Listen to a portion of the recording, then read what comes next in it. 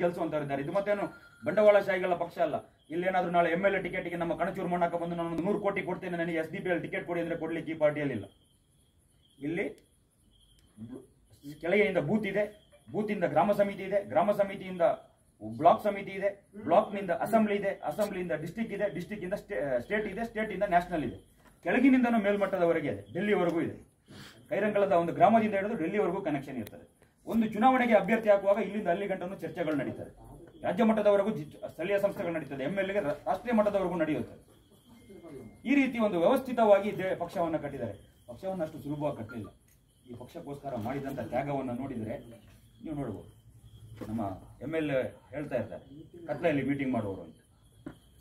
ಇವತ್ತು ಬೆಳಕಿಗೆ ಬಂದಿದ್ದೇವೆ ಒಳ್ಳೆ ಆಫೀಸ್ ಇದೆ. ಫ್ಯಾನು ಜೋರಾಗಿತ್ತು. ಆದರೆ ಒಂದು ಟೈಮಲ್ಲಿ ಕತ್ಲೆಯಲ್ಲಿ ಮೀಟಿಂಗ್ ಮಾಡಿದ್ದಾರೆ ಪಕ್ಷವನ್ನು ಕಟ್ಟಲಿಕ್ಕೆ ಇದ್ದಿದ್ರೆ ಈ ಪಕ್ಷ ಇಷ್ಟು ಪ್ರಬಲವಾಗಿ ಬೆಳೀತಾ ಇರಲಿಲ್ಲ. ಈ ಪಕ್ಷವನ್ನು ಮಟ್ಟ ಹಾಕುವಂಥ ಪ್ರಯತ್ನಗಳು ಜೋರಾಗಿ ನಡೀತು. ಈ ಸಂಘಟನೆಗಳನ್ನ ಮಟ್ಟ ಹಾಕುವಂಥ ಕೆಲಸ ನಡೀತು. ಮುಸಲ್ಮಾನರು ಸಂಘಟಿತರಾಗಬೇಕಾದ್ರೆ ಅದನ್ನು ಭಯೋತ್ಪಾದಕ ಸಂಘಟನೆ, ಕೋಮುವಾದಿ ಸಂಘಟನೆ ಅಂತ ಅಪಪ್ರಚಾರ ಬಿಜೆಪಿಯವರೆಲ್ಲ ಜೊತೆಗೆ ಕಾಂಗ್ರೆಸ್ನವರು ಮಾಡಿದ್ರು. ಮೊನ್ನೆ ಇಲ್ಲಿನ ಶಾಸಕರ ನೇತೃತ್ವದಲ್ಲಿ ಏಳು ಶಾಸಕರು ಕಾಂಗ್ರೆಸ್ನ ಶಾಸಕರು ಹೋಗಿ ಮನವಿಯನ್ನು ಕೊಡ್ತಾರೆ. S D P I, P F ಐನ ನಿಷೇಧಿಸಿ ಅಂತ. ಇದು ಅತ್ಯಂತ ದುರ್ದೈವದ ಸಂಗತಿ.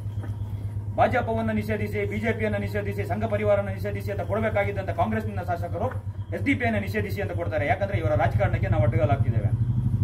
ನಮಗೆ ಕಾಂಗ್ರೆಸ್ ನಿಜವಾಗ್ಲೂ ಶತ್ರುನೇ ಅಲ್ಲ. ಬಹಿರಂಗವಾಗಿ ಹೇಳ್ತೇನೆ. ಕಾಂಗ್ರೆಸ್ ಜೊತೆ ನಮಗೆ ದ್ವೇಷ ಇಲ್ಲ. ಜೆ ಡಿ ಎಸ್ನ ಜೊತೆ ದ್ವೇಷ ಇಲ್ಲ. ನಮಗೆ ದೇಶ ಇರುವಂಥದ್ದು ಈ ದೇಶದ ಫ್ಯಾಸಿಸಮ್ ಅವರ ಜೊತೆ ಮಾತ್ರ.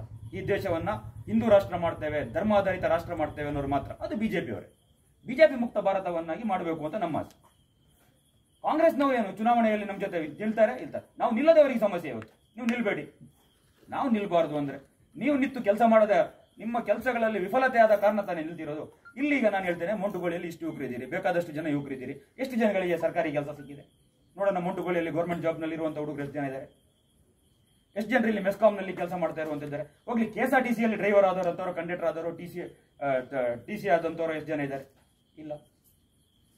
ಯಾಕಿಲ್ಲ ಇಲ್ಲಿ? ಮೆಡಿಕಲ್ ಕಾಲೇಜ್ನಲ್ಲಿ ಗೌರ್ಮೆಂಟ್ ಕಾಲೇಜ್ನಲ್ಲಿ ಫ್ರೀ ಆಗಿ ಮೆಡಿಕಲ್ ಕಾಲೇಜ್ನಲ್ಲಿ ಸೀಟ್ ಪಡೆದು ನಾಲ್ಕು ಲಕ್ಷ ರೂಪಾಯಿ ಕೊಟ್ಟರೆ ಆಗುತ್ತೆ. ಇವತ್ತು ಕಣಚೂರಿನಲ್ಲಿ ಯಾಣಪಾಯದಲ್ಲಿ ಸೀಟ್ ಸಿಗಬೇಕಾದ್ರೆ ಎಂಬತ್ತು, ತೊಂಬತ್ತು ಲಕ್ಷ ಬೇಕು. ನಾಲ್ಕು ಲಕ್ಷಕ್ಕೆ ಗೌರ್ಮೆಂಟ್ ಕಾಲೇಜ್ ಮೆಡಿಕಲ್